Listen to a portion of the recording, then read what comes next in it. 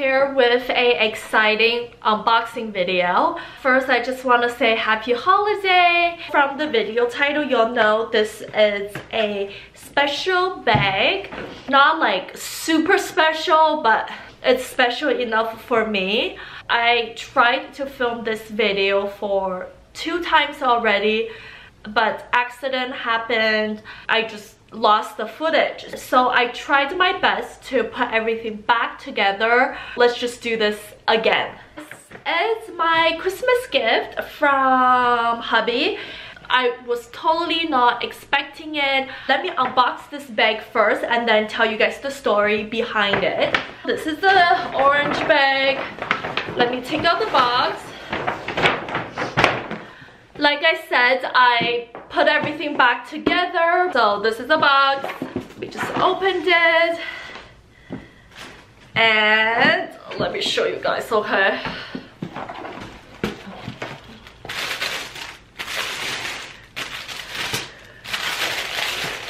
A dust bag. So what do you guys think it is?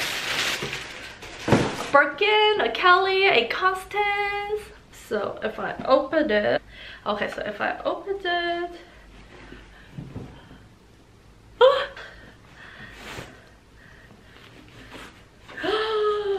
yes, it is a Birkin 25, but what's, okay, let me take out this, okay? But what's so special about it it is, um, is that it's a Birkin touch. That means that the front part and the um, handle are exotic leathers. See?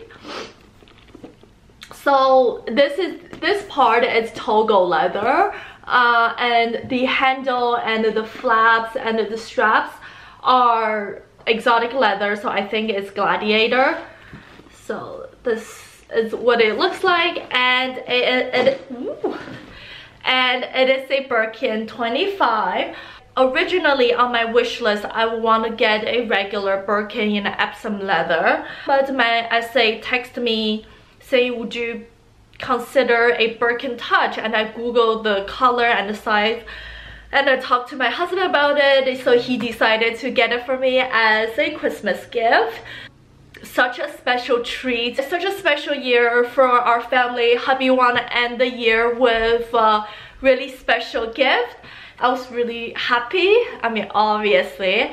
So yeah, this is the bag, 25. Um, because it is a little bit pricier than a regular Birkin, I was asking my friend.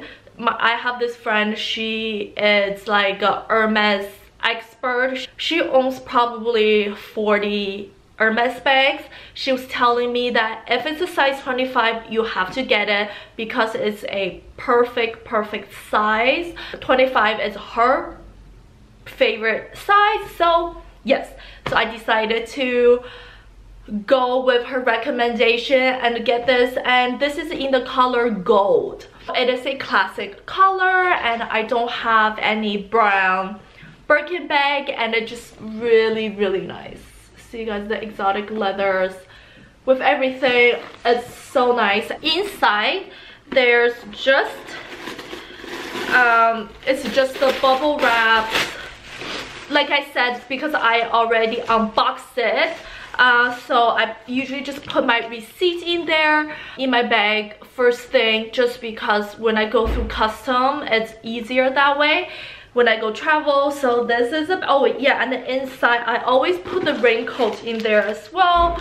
Um, and then the lock. I actually never use the raincoat, but I always wanted to put it in there. Because it has the exotic leather, on the box, it will have a exotic leather sticker. It will tell you where the alligator is from, and then the date that's issued, uh, the export permit number, and all that stuff is all on here. So this is my quick unboxing video. I just want to come up show you guys this little uh, christmas gift that i got from hubby.